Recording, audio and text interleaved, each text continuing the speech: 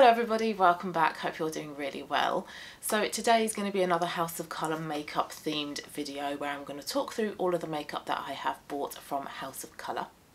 Now I had my appointment with House of Colour on the 20th of December and I'm filming this on the 21st of January so I have known my colour season for a little over a month now and I am an autumn. I'm an autumn leaf to be precise so I am those stereotypical colours that you think of when you think of autumn. So this colour, this is actually one of my wow colours, my 100% colours. This is a moss green. Also colours like that rich rust, the rich reds, ambers, golds, chocolate browns, and the makeup that I've bought from House of Colour has been makeup colours suggested for autumns. Now I have bought seven items from House of Colour. I've bought six lipsticks and one liquid lipstick. And when I had my appointment, a few days afterwards, I went through my makeup collection and tried to figure out how much of my makeup actually suited my season. Now luckily most of it does, which is really, really good. The colours that don't, I think I am going to be de decluttering them, so keep your eye out for a declutter video sometime soon. So yeah, most of my, my makeup suited my colour season, but it was things like lipstick that I felt was really lacking. For a while now, for a lot of last year, I was just really uninspired with my lipstick collection. I felt like a lot of the colours didn't really suit me. I think I had a big lipstick declutter as well. So that's why I have bought seven lip items from House of Colour because I know that they suit me and I personally love lipstick. It is it is my favourite part of my makeup routine. It is my favourite makeup product to wear, to apply, to collect, to look at, to, to browse for. So I'm really happy now that I have a lot more colours in my collection that suit me. So that's what I want to show you in today's video. I want to show you those colours. So I suppose this video is a little bit niche. If you're not particularly into colour analysis, then this might not be the most exciting video for you. But if you are, and if you yourself are an autumn, or if you're looking at me going, I look really similar to you, I've got a similar hair colour, similar eye colour, similar skin tone, then hopefully it's going to be really useful. So I am wearing one of my Wow colours, one of my 100% colours, and hopefully that's going to help to show off the lipsticks even more. This is my natural hair colour as well. I've got real minimal makeup going on today, but warm makeup. So hopefully because it is minimal, it's not going to, you know, clash with the lipsticks. Ideally, I would have filmed this in a natural lighting and I did actually start filming in the lounge by a big window, but the colour was going in and out. It looked horrible. So I do have a window open behind me there and then I've got a ring light on. So we are working with a little bit of artificial light and natural light. So hopefully it's going to make the lipsticks look as authentic and as true to colour as possible. So after my appointment then, when I went through my makeup collection, I did initially buy four lipsticks. So I bought myself my three points of red, I bought a warm red, I bought a coral and I bought a rust, but I also bought a nude as well. And on a day-to-day -day basis, I love wearing a nude lipstick. It's not very often that I wear a bright colour, a deep dark colour or a red, I feel much more comfortable in the nudes. So I wanted my three points of red, so I've covered them, but I also wanted a nude as well. And the nude I went for is number 491 Autumn Shimmer, which looks a little bit like a Rimmel 90s lipstick throwback. Now I now have three nudes from House of Colour and when I've opened every single one of them I thought oh that's that's dark that's not a nude but it's important to remember the words associated with your season. So for autumns we are warm, rich, vibrant and earthy. So our nudes, our nude lipstick colours aren't going to be your typical nudes that you think of, the really really pale nudes. They are going to have some richness behind them, they are going to have some depth, some, some warmth and this one definitely does. Now the formulation of these lipsticks I really enjoy. I think they're really creamy to apply, great pigmentation and they last for a long amount of time as well. So great colours and great formulation. And I will show you how this one applies so you can see just how easy it is to apply, how creamy it is and the level of pigmentation. So that is just one coat. I like to blot and go in with the second coat so I'm going to do that and I'll be back in just a sec.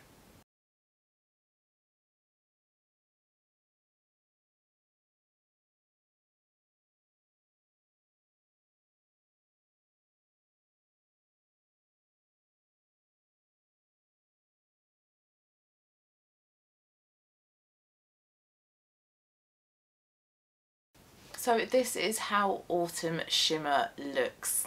So a really beautiful nude natural pink but it does have some depth and some vibrancy and richness behind it as well. Really, really lovely colour. I love this one. I think this one will probably work better with more coral colours or some of the blues and maybe a bit better in the spring and summer months as well.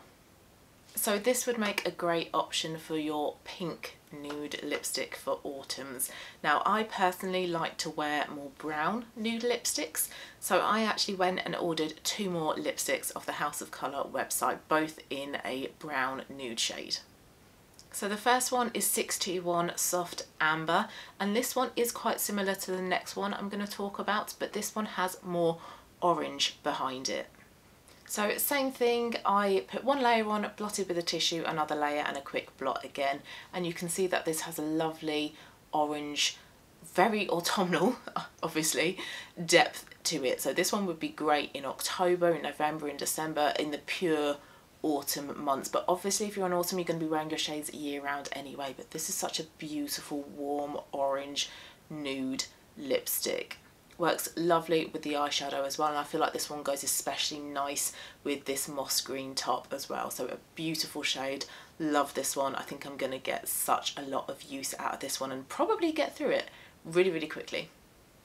Now this one is my favourite that I've bought so far from House of Colour. This is 706 Autumn Nude and this is definitely a me kind of lipstick now where the previous shade Soft Amber had more of an orange undertone, orange base to it. This one has more of a pinky brown undertone but definitely not as pink as the first lipstick so this one is much more of that kind of muted nude I think this one would go with more makeup looks than say soft amber and the first one but all three of them so far absolutely beautiful colours but this one is definitely my favourite also just want to add as well I'm not wearing any of these with any lip liner now yes, it would probably look better with lip liner, it would look a little bit neater, a little bit more crisp, but just to show that you don't need to wear lip liner with it if you don't want to. A lipstick on its own is fine and then you can use the pointy end to try and act as a lip liner.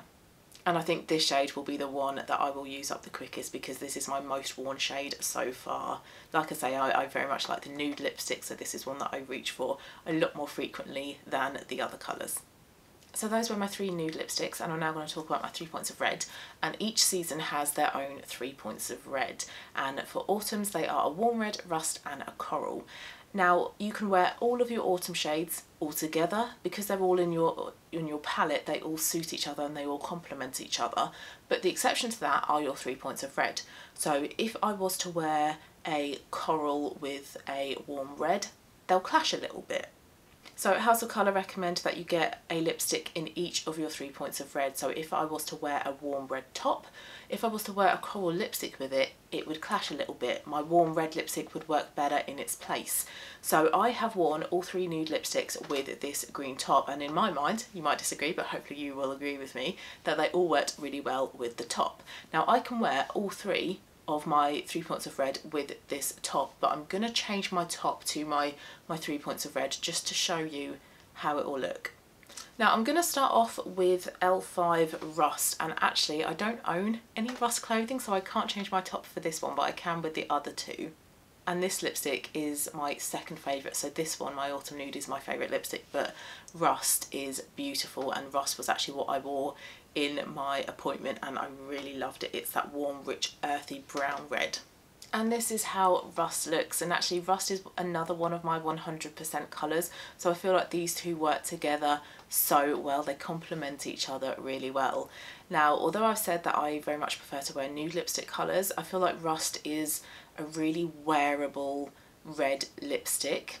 It doesn't have the brightness of say your telephone box red, it's much more softer, it's, it's more muted, it's got a bit more richness and earthiness behind this. So although it's a red, it's much more like a toned down version of a red and I feel very, very comfortable wearing this version of red compared to that, you know, typical blue-based telephone box red. So the rust works really well with the green, but if I was to wear a coral or a warm red, like this warm red jumper I have, clashes a little bit. Now I don't think it looks bad because they're all my colours, they're all awesome colours, but it doesn't work quite as well as if I was to wear a warm red lipstick with this instead of the rust colour. And this is my warm red lipstick. This is L12 this is in the shade brick. And this was the lipstick colour that I wore when I spoke about my House of Colour appointment and my process. And I had on a very very similar top to this but it was just a turtleneck I think. So hopefully you can see that this one works a little bit better than the Rust does. There's more kind of harmony between the lip colour and the jumper and this red I think is beautiful. I think where people struggle with a red lipstick is not finding the right tone of red for you and that's definitely something that I have experienced in the past because usually red lipsticks they are that blue base red which is great if you have a cool undertone but if you have a warm undertone if you're a spring or an autumn then a orange based red lipstick is going to work so much better for you because it has that warmth it's got that richness and that earthiness and it just works so much better with your colouring so a beautiful red lipstick. This is definitely a much more complimentary red on me than other shades that I've tried in the past. But because I am a nude girl, I love my nude lipsticks, this is one that I'm not going to wear too often. But if I have an occasion, if I've got a dinner out somewhere, or if I want to make a bit more of an impact,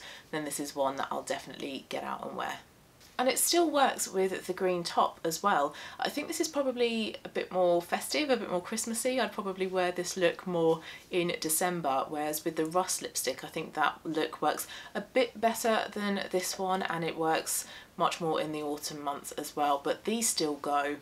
With a colour like this green, I can wear any of my three points of red, but I think the look is a bit more impactful when I wear it with my warm red clothing. But if I was to wear it with a coral, again, we've got a clash going on because coral is another one of the three points of red for an autumn. And this is a top from Kettlewell and this is actually a perfect match to the coral in my colour fan. So there is a bit of a clash going on. Again it doesn't look really really bad but it's not going to look as harmonious as if I was to put on my coral lip which is this lipstick 709 soft smooth coral. So you'll see that it's a lot more harmonious compared to when I had my warm red lipstick on. Everything looks a lot more cohesive more tonal. It just works so much better. There's not that slight clash going on. And actually when I bought this top I was thinking oh I'm not really sure about this. Now coral is 75% excellent for me so 75% two stars. So I can wear a lot of coral in my look. But because I'm not really used to wearing bright colours like like this when I put it on I was a bit like oh this is a little bit intimidating. But now that I've worn it with the appropriate makeup because when I tried it on I had no makeup on I think it works so much better and I think this would be a lovely combination for the spring and summer months. And although I'm a true autumn, I am better suited to those really rich, earthy, stereotypical autumn colours. Those aren't your only options for autumns. You do have lighter colours, you do have brighter colours, you do have a bright coral like this that you can wear. So a lovely shade to wear and I think I will get more use out of this lipstick in the spring and summer months but it can also work as well with moss green with this top that I've got on but I feel like it does work a lot better with a brighter colour. I think a rich earthy colour like this one that's slightly darker works better with a rust lipstick but it still works together. It's still a cohesive look. And then the last item I want to talk about is my liquid lip. This is also in a nude shade. This is in the shade 110 and it doesn't say the name of the colour on it I don't think but this was the nude option and I think that was a very very bright coral orange shade and also a deep warm red as well but I wanted another nude option. Now I'm not a massive fan of liquid lipstick so that's really why I only bought one so I wanted to see what this formulation was like before I ended up buying a couple more. And I'll show you how this one applies.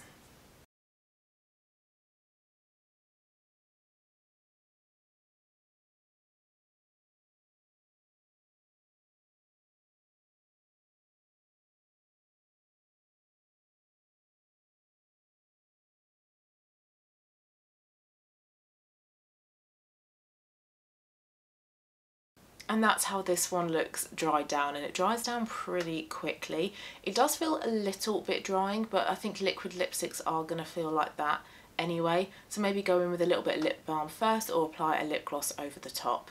And I do have quite dry lips today so it has clung to a couple of bits of dryness on my lips but the colour I think is really really beautiful. It's so natural and I wanted this kind of shade as like an everyday shade that's appropriate for work but also I can work with a slightly deeper smoky brown eye.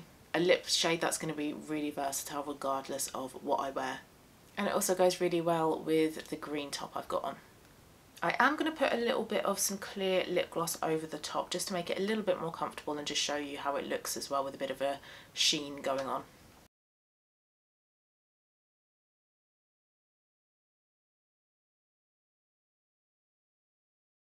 So it feels a bit more comfortable now with a bit of clear lip gloss over the top and I like how it looks as well. It's not affected the liquid lipstick underneath it at all. It's not moved, it's not become patchy. And I do also own a Kiko lip gloss that's in a very similar shade to this. So I think the two of them together would be really nice. So that is my collection so far of House of Colour makeup. I will probably end up getting more lipsticks in my collection, also lip glosses as well, maybe a couple of the lip liners. Might try the two other liquid lipstick shades as well. I don't think I'm particularly bothered about buying any eyeshadows from them. I think I've got enough eyeshadows in my collection that suit me and I'm not a huge wearer of eyeshadow either and I might at some point as well get some other blushes as well so if I do end up adding a lot more makeup into my collection I'll probably do another video like this and show you what else I've added. But I hope that was interesting. So if you yourself are a House of Colour Autumn, hopefully that's been really interesting to see what all the different shades look like. Or like I say, if you do have similar colouring to me, but you haven't been colour, colour analysed, hopefully that's been helpful as well. And also if you have any, you know, non-House of Colour makeup suggestions, please let me know as well, because I don't just want to limit myself to House of Colour. I like the House of Colour because it makes it so incredibly easy to know that the colours are going to suit you. But I love makeup, I love experimenting with different brands. So if you know of any colours that would suit me, please let me know. So if you enjoyed it, please do give it a thumbs up. If you've also not subscribed, please subscribe as well. It would be lovely to have you here. Enjoy the rest of your day, guys, and I will see you very soon for my next video. Bye.